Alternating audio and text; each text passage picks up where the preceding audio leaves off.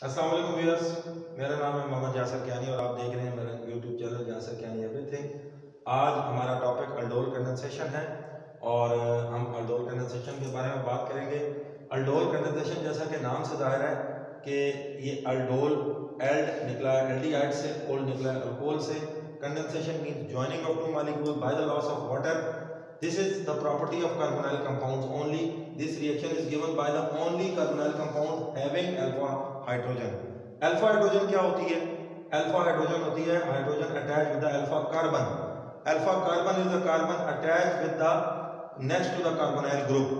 ये carbonyl group आपको नज़र आ रहा है सी डबल बॉन्ड ओ इसके साथ जो कार्बन आपको नज़र आ रही है ये अल्फ़ा कार्बन है और इसके साथ जो हाइड्रोजन है that is called as alpha hydrogen so aldol condensation can occur between two aldehydes.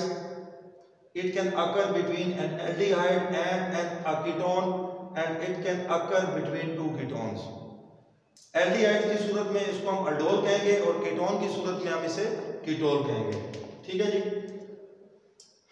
Aldol condensation जो है, बुनियादी तौर पर एक बेस कैटालाइज रिएक्शन है रिवर्सिबल रिएक्शन है, ठीक है रिवर्स हो सकता है इसमें आप ये देख सकते हैं कि ये एक मालिक्यूल है जो एल्डोर कंडेंसेशन के नतीजे में बन चुका है।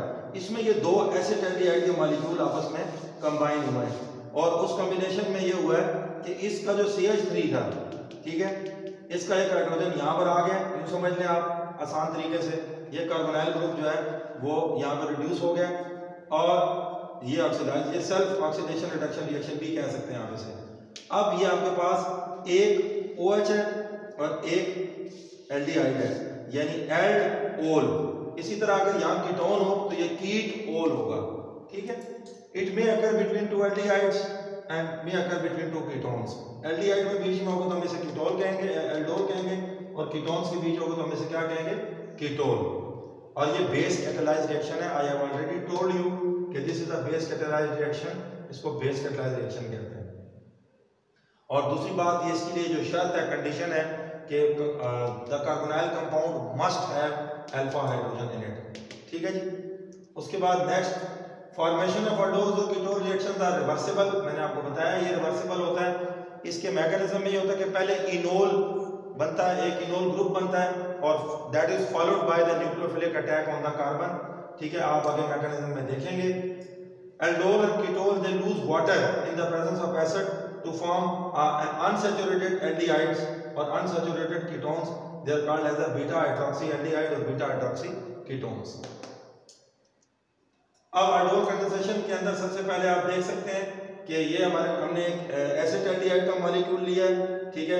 इसमें ये मिथाइल ग्रुप लगा हुआ है। This is the alpha carbon and these three are the alpha hydrogens attach with this carbon ठीक है जी? आगे हम ये देखें सबसे पहले ये दो हमारे पास कंपाउंड्स हैं ये एसिड एल्डिहाइड है और ये भी एसिड एल्डिहाइड है। इसको हमने सिर्फ़ लिखा ऐसे एक हाइड्रोजन ऊपर करके शो की है। अब ये हाइड्रोजन जो है यहाँ से अटैक करेगी। इधर मैकेनिज्म में ऐसा नहीं है सिर्फ़ समझने के लिए बता रहा हूँ। ये बॉन्ड ब्रेक होगा यहाँ से ये बन जाएगा ओ OH, तो ये नीचे आपके पास एक कंपाउंड बन गया। ठीक है? This is catalysed by a base how this happens we we gonna see that आप सिर्फ़ इसको ये देखें कि ये कंपाउंड कौन सा है? इसकी इसका नॉमेनक्लेचर हम देखेंगे। वन टू थ्री फोर तो ये थ्री हाइड्रोक्सी ब्यूटेनॉल है।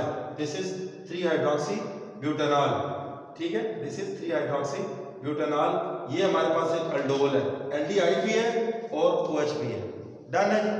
नेक्स्ट अब हमारे पास देखें, ये एक एल्डिहाइड कंपाउंड है, ठीक है, जिसमें ये देखें आपके पास आर है, ठीक है, ये बेसिकली यहाँ एच भी हो सकता है, अगर एल्डिहाइड होगा कीटोन होगा तो यहाँ आर होगा। तो इधर हमारे पास ये अल्फ़ा हाइड्रोजन है, ये ये ब्लू कलर में जो है, ये अल्फ़ा हाइड्रोजन है। जैसे ये अल्फ़ा हाइड्रोजन इस पे एक बेस अटैक करता है and this converts into a water and resulting an enolate ion जो ये, इसके बाद ये ये हट जाएगा then it will be called as an enolate ion ठीक है जी? अब ये आपके पास इनोलेट आयन बन गया, यहाँ से एक हाइड्रोजन रिमूव हो गई है। ठीक है? और ये बेस ने ओ OH ने जो अपने साथ एक H मिलाया था ये, आपके पास OH2 बन गया।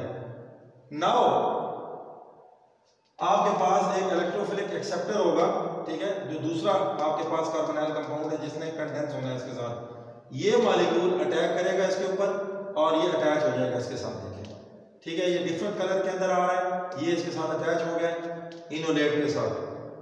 ठीक है? This is the step two ठीक है?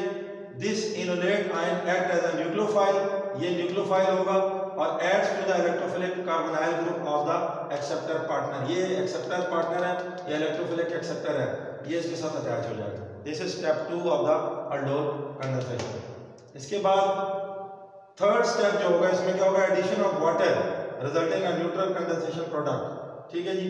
वाटर इसमें ऐड होगा, इसी चीज़ के अंदर। और वाटर ऐड होने के बाद आपके पास एक न्यूट्रल प्रोडक्ट बन जाएगा। ये नया कार्बन कार्बन बॉन्ड डेवलप हुआ है, ठीक है? और उसके साथ वाटर ऐड हुआ है। अब वाटर ऐड होने के बाद ये एक न्यूट्रल कंडेंसेशन प्रोडक्ट बन गई है। उसके बाद यहाँ पे ये आपके पास मॉलिक्यूल आ गया, ठीक है? अब जो बेस होगा, जो ओ OH है, वो हाइड्रोजन को रिमूव करेगा। वो हाइड्रोजन को क्या करेगा?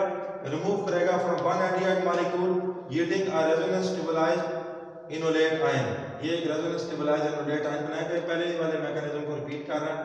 ठीक है जी? ये देखें यहाँ पे आपके पास एक एल्डिहाइड है एसिड एल्डिहाइड है, ये दूसरा एसिड एल्डिहाइड है। ठीक है?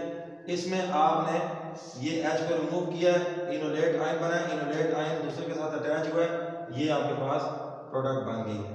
ठीक है the enolate ion attack the second aldehyde molecule in a nucleophilic addition reaction to give a tetra alkoxide ion intermediate ये आपके पास एक अल्कोऑक्साइड आयन इंटरमीडिएट बन गया। अब ये देखें this is now an aldol ये अब आपके सामने एक एल्डोल है। ये आपके पास पुराना एल्डिहाइड मॉलिक्यूल है, ठीक है? और ये दूसरे वाला है, ठीक है? दोनों अटैच हो गए आपके साथ। अब ये एल्डिहाइड भी है और अल्कोहल भी है, ये अल्डोल है। ये क्या है? अल्डोल है। तो अब इसको हमने प्रीवियस स्टेप में जाइए। ये जो आपके पास ऑक्सीजन नज़र आ रही है इसमें, ठीक है? इस आयन के ऊपर हमने प्रोटॉन ऐड किया this is the card protonation ठीक है? नेक्स्ट यहाँ पे प्रोटोनेशन हो गई, और ये वाटर मालिक्यूल का प्रोटॉन यहाँ पे आ गया ओ एच आइन यहाँ बच गया। देखें ओ एच आइन हमने स्टार्ट में ऐड किया था एंड में हमारे पास ओ एच आइन बच गया इसका मतलब है ये बेस कैटेलाइज रिएक्शन है। This is called as the base catalyse reaction तो aldol loses water in the presence अब आप ये अल्डोल बन गया। अब इस अल्डोल में ये एच आप ऊपर लिखें तो एच और ओ एच यहाँ से रिमूव होगा। This will create a double bond ठीक है? अब आपके पास ये प्रोटॉन एल्डिहाइड कहलाएगा। This is called commonly called as proton aldehyde और इसका नाम होगा वन टू थ्री फोर ठीक है? तो टू इन ब्यूटेनॉल होगा आपके पास। ठीक है? This is called as two in butanol butanol क्योंकि ये ब्यूट चार कार्बन वाली है ऑल एल्डिहाइड को शो कर है और टू इन डबल बॉन्ड की पोजीशन को शो कर है। ठीक है जी? उसके बाद कीटोन कंडेंसेशन बिल्कुल एल्डिहाइड्स की तरह ही है, कोई फ़र्क नहीं है। पीछे जाएँ, और पीछे जाएँ, बस। कीटोन की कंडेंसेशन में फ़र्क सिर्फ़ ये होगा कि इस एच की जगह आपने आर लगाना है दोनों तरफ़। ठीक है? यहाँ पर आपके पास CH3 होगा, बस। तो कीटोन की कंडेंसेशन इसी तरह होती है। नेक्स्ट चले। अब कीटोन के कंडेंसेशन के नतीजे में बनने वाला प्रोडक्ट जो है वो कीटोल होगा। उसे क्या कहेंगे? Ketol like aldehyde ketone having alpha hydrogen condense to form ketols ठीक है two molecule of acetone they condense to produce 4 hydroxy 4 methyl 2 pentanone ये देखें आपके पास, ये दो कीटोन मॉलिक्यूल्स हैं। कीटोन के एक जो मिथाइल ग्रुप है उसके हाइड्रोजन को आप अलग करें, ये यहाँ पे डबल बॉन्ड को ब्रेक करें, ये हाइड्रोजन इस जगह पे ऐड होगा, ये आपका कीटोल बन गया ठीक है? सेम मैकेनिज्म होगा सेम तरीका कार होगा, कोई फ़र्क नहीं होगा। फ़र्क सिर्फ़ ये होगा कि कीटोन और कीटोन के बीच भी कंडेंसेशन हो सकती है एल्डिहाइड और एल्डिहाइड के बीच में भी हो सकती है, और एल्डिहाइड और कीटोन के बीच में तीन तरह की एल्डोल कंडेंसेशन होती हैं। ठीक है? जिनमें between two aldehydes between aldehyde and ketone and between ketone and a ketone. Next, if two different aldehyde condense अगर दो डिफरेंट एल्डिहाइड कंडेंस होंगे the process is called as mixed aldol condensation ठीक है? जैसे बेंज एल्डिहाइड है ऐसे benzaldehyde do not give aldol condensation ठीक है? तो वो कंबाइन हो सकते हैं। ठीक है? एंड दे फॉर्म सिनेमन या सिनेमा एल्डिहाइड ये दालचीनी के अंदर जो मसाले में दालचीनी होती है उसमें जो केमिकल होता है उसे सिनेमन एल्डिहाइड कहते हैं। ठीक है? That is a compound found in that ये देखें फिनाइल ग्रुप है, ठीक है? और ये इसके साथ ऐड हो रहा है और सिनेमा एल्डिहाइड बन रहा है।